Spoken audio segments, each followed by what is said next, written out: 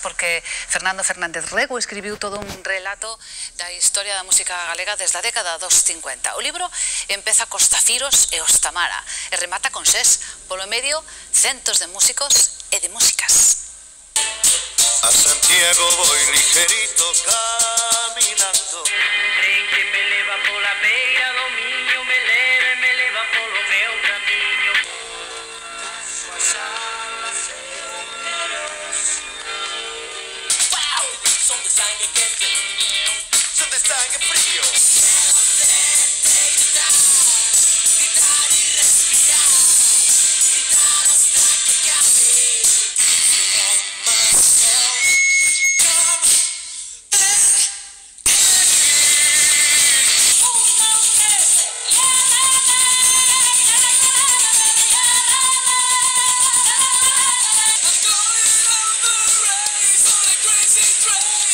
Aunque te gusten los planetas como a todos los puretas. Ya te quiero igual. Todo isto ocorreu en 70 anos de música en Galicia, todo isto moitísimo máis, porque estábamos comentando co autor deste estudio, con Fernando Fernández Rego, benvido, boas tardes. Hola, boas tardes. O a moitísima música que se fixo en Galicia nestas, nestes 70 anos. Moitísima, a verdade é que un cando empeza a investigar eh, e metese dentro é unha bola de neve que, que non frea, non? Realmente, incluso agora unha vez publicado sigue un descubrindo moitas cousas, non? A verdade é que é moi grande. O libro é un traballo de titáns, levas moitos anos facendo este libro, ou bastantes anos polo menos empezando a traballar nel, son máis de 800 páxinas, eh, empezas xusto eh, coas orquestras, nesa transformación da orquestra ao pop. Sí, a idea era comezar nos anos 50 con esas orquestas que pouco a pouco comezan a virar ao pop, non? É dicir, grupos, eh, bueno, ainda que fai unha retrospectiva das, das orquestas, pois los celtas, moitas, hai que ter en conta que Galicia foi exportadora de orquestas durante case dos anos 50, non?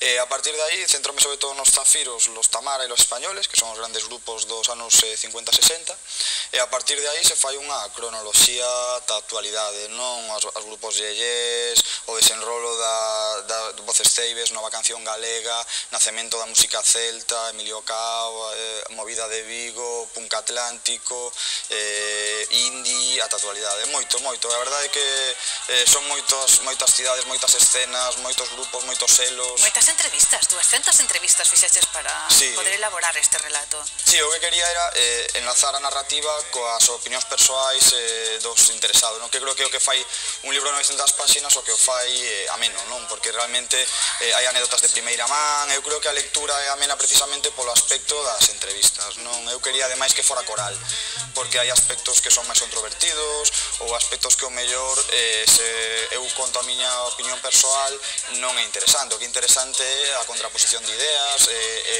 e que os distintos membros dos distintos grupos comenten, non? Moitos dos claro, aspectos. Toda a historia, claro, está chea de, de, de anécdotas increíbles. Os españoles que non me abastía antes, por exemplo, actuaron dúas veces no Xapón, unha delas nas nas Olimpiadas. Ou que decir dos Tamaras, Pucho Boedo que entrou nos Tamara porque o cantante o vocalista que tiña se enamorou polo camiño de xira.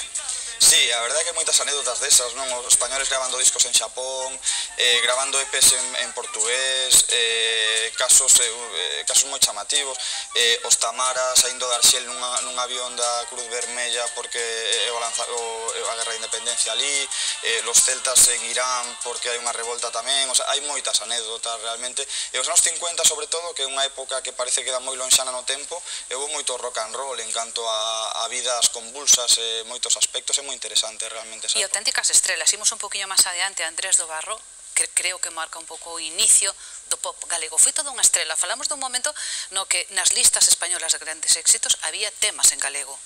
Sí, realmente Andrés, hai que, hai que considerar que eh, consigue catro os números un en plena dictadura, eh, cantando en galego, que é o único artista galego que, que acaba. Bueno, daquela Serrat cantaba en catalán e non pasaba nada. E non pasaba nada. e aquí eu creo que, que Andrés, eu creo que o que pouco a pouco vai, a, vai eh, adquirindo o sitio que, que debe ter, non creo eu, non que é a xénese do pop en galego, en certo modo, non? É dicir, é realmente o primeiro fenómeno de fans da música galega, posiblemente, con respecto a Pucho, evidentemente, pero dentro do pop, eh, eu creo que é o, o gran artista para min, polo menos, de, de esa xeración dos 70. Claro, a música foi pasando por moitos lugares. A finais dos 60, por exemplo, Voces Teibes, que se incorpora a ese momento de revolta social, a canción protesta, Claro, eh, aí está tamén Voces Ceibes, está a nova canción galega, está eh, Viviano, Benedicto, Joan Rubiá, Vicente Araguás, o sea, hai moitísimo, e sobre todo tamén eh, o que se intenta facer no libro tamén é un análise socio eh, político tamén claro. da época, da censura desas épocas, de como os grupos podían gravar, o enseño que había que ter, porque era moi difícil gravar, de feito, hubo moitísimos grupos nos 60 e 70 e moi poucos gravaron, eh, como conseguían gravar, como conseguían editar, como conseguían actuar, era todo moito eh, moi diferente con respecto á actualidade. Había, había grupos como E- NHU, por exemplo, eh, que gravaron moi pouquiño, eh, que sin, que sin, sin embargo marcaron, non?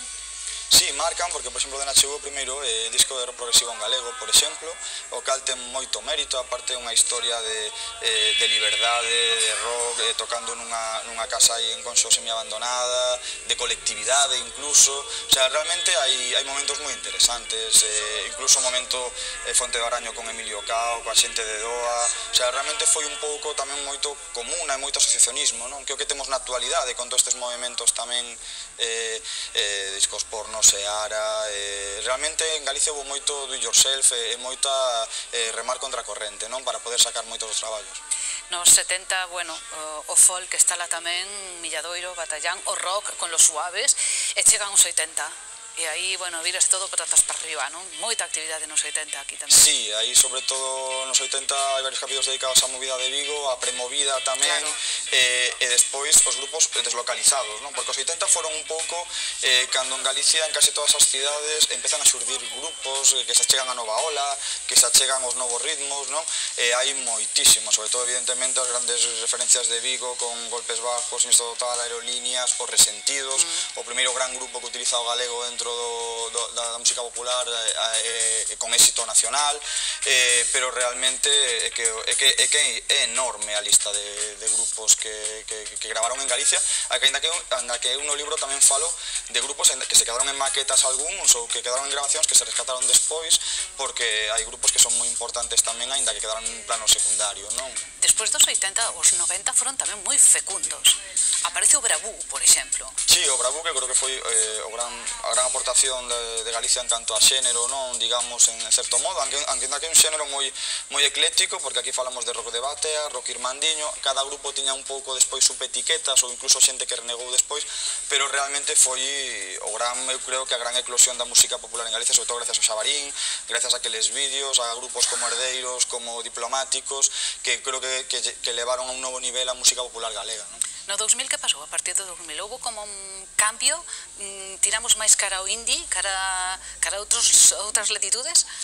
Sí, no 2000 sobre todo é cando empeza sobre todo o movimento máis subterráneo a ter unha gran eh, importancia, selos como o lixo urbano, como el Beasto, eh, eh, o, o, a eclosión do indie tamén, e despois da, de todos estes colectivos eh, e selos discográficos que empezan a funcionar con regularidade por toda Galicia. E moitos colectivos autoxestionados, que é algo que tamén apareceu nese sí, momento. Sí, porque no libro para mí é moi importante tamén atender a contracultura, e igual que aparecen as revistas como Tintimán en Vigo, La Naval, todo eso se analiza, tamén na actualidade, sociedade, non? É dicir, todas as colectividades, Liceo Mutante, todos os, eh, todos os, os colectivos tipo Discos das Máquina e demais, pois aparecen aí tamén con entrevistas e a xente, ademais o que cuidei foi que se fixeron no momento de auxe todos estos, porque hai moitos que desapareceron, pero se fixeron cando tiñan ese romanticismo de por que estamos facendo todo isto, non? Que era bonito. Todo para todo evolucionou, mesmo a tradición. Se pensamos para rematar xa Mercedes Peón ou SES, que é donde poso punto final.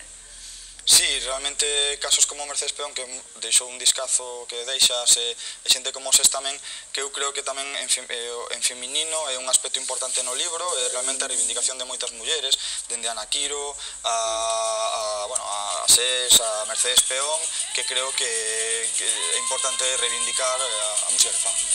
Cada un dimos non sei onde imos, realmente creo que vimos un, unha época moi bonita, con grupos de moita calidade, moitísimos en todas as, as cidades de Galicia, e eu creo que é unha época dourada, en certo modo, da música popular en Galicia. Fernando, moitísimas grazas. Grazas por ese traballo inmenso que fixeches, máis de 800 páxinas que podedes ter nas mans eh, a partir do próximo día 28, verdad? Que estará a venda. Sí. Un placer, moitísimas grazas. Nada, Seguimos, a música continúa e afortunadamente eh, os concertos para celebrar o Día Europeo da Música multiplícanse. Aquí van algunhas propostas.